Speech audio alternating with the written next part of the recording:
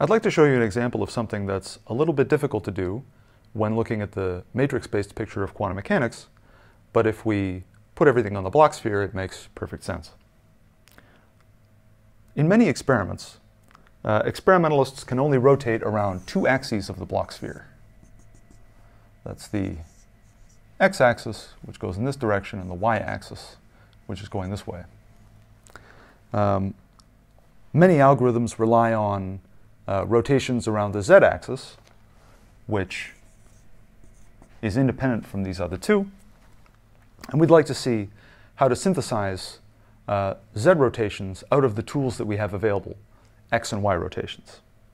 Now, I happen to know the answer to this question, uh, and I can begin by writing down the matrices that describe the operations that we'd like to do.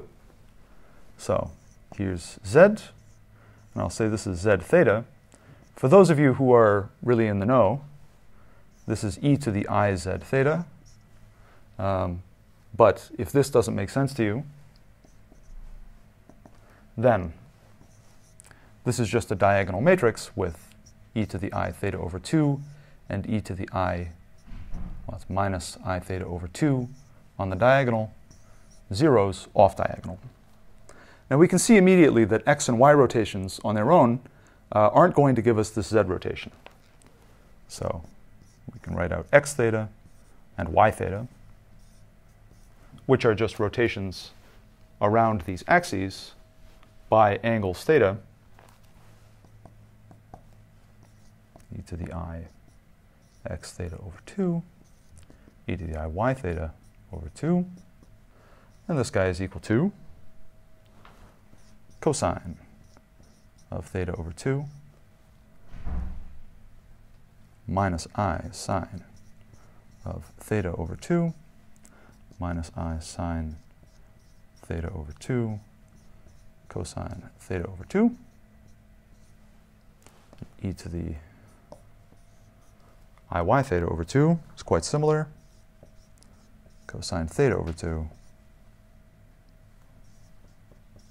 sine theta over 2 minus sine theta over 2 cosine theta over 2.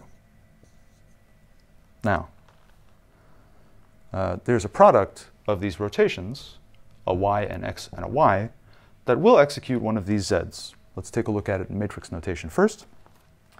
What I'm going to do is set theta, well, equal to pi by 2 for a y rotation.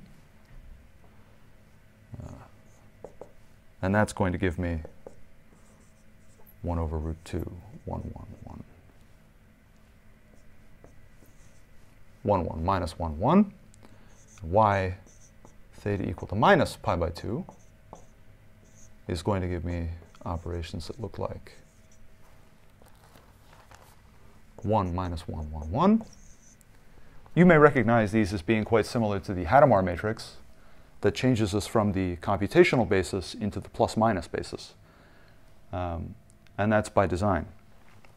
Now let's take a look at what happens if we sandwich an x rotation about some angle theta with these two matrices, uh, which we lovingly call y90 and y minus 90, because they're 90 degree rotations. So we're going to get a,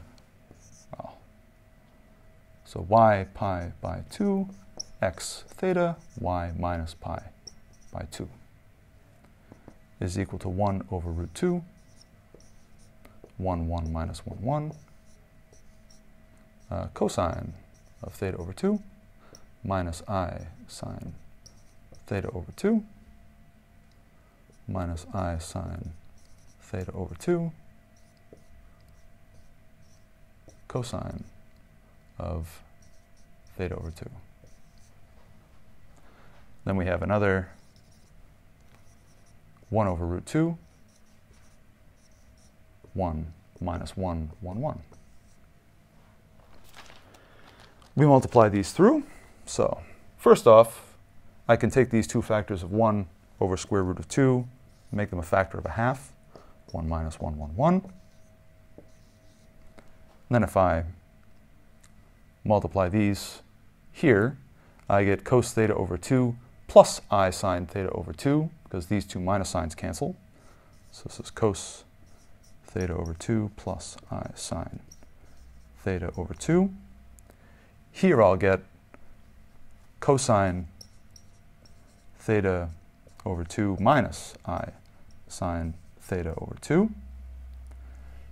Here I'll get minus uh, cosine minus i sine, so that's minus cosine theta over 2 plus i sine theta over 2.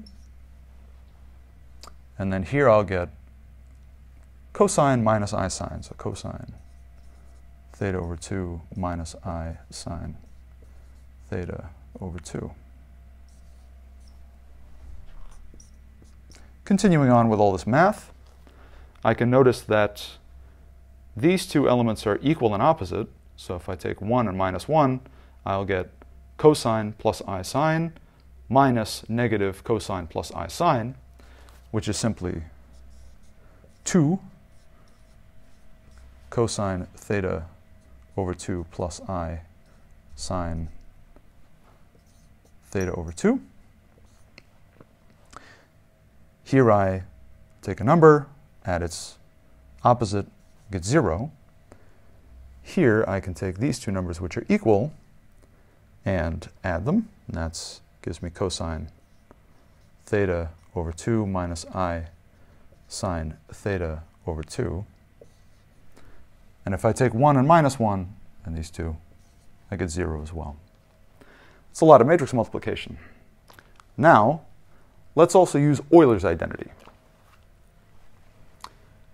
We know that this is equal to e to the i theta over 2, and that this is equal to e to the minus i theta over 2 from arithmetic using complex numbers. And so we've managed to synthesize this z rotation around theta just by using x rotations and y rotations. So using a little bit of ket notation and some trigonometric identities, we can show that we can obtain universal control using only the tools that are available to the experimentalist. This is nice because it means we don't have to design new hardware. We can just put together operations that we already have in order to obtain universal control. But this is not as simple as it could be. There's a far easier way to see this, which we can do using the Bloch sphere. The action of this sequence of unitary operations, y90, x around some angle theta, and then y minus 90, can be expressed in terms of matrices, but it's much easier to understand using the Bloch sphere.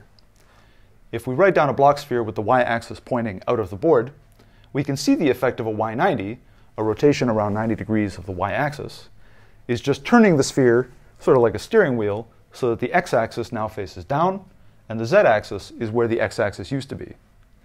If we now apply a rotation around the x-axis, that's giving us a rotation around our old z-axis, and once we have that done, all we need to do is reverse the y90 with a y minus 90 to restore the orientation of our original axes, having picked up a phase on the z. And that's how we can synthesize a diagonal unitary, e to the i theta over 2, e to the minus i theta over 2, out of the operations to which experimentalists have access. A little bit of notation saves you a lot of hardware design.